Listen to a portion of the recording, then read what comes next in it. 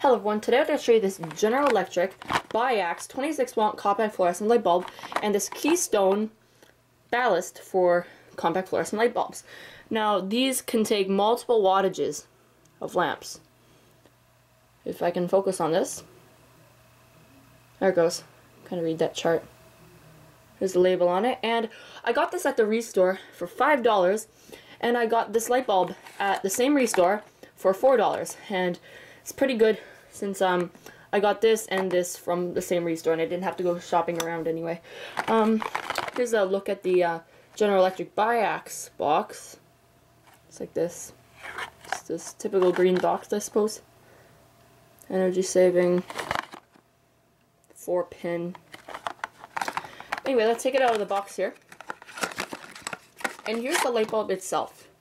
As you can see, it is pretty new and it's quite well built. And it has these U-shaped end caps on them. I find that quite interesting. Anyway, let's put this into the socket.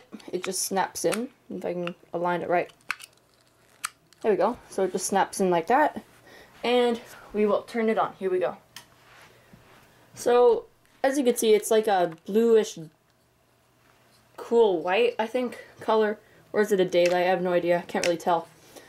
It it gets brighter. It actually is kind of brighter on this side tube, and then the other two tubes get lighter. But it's pretty bright. Let's actually go and shut this light off so you can see actually how bright it is. And it does get brighter.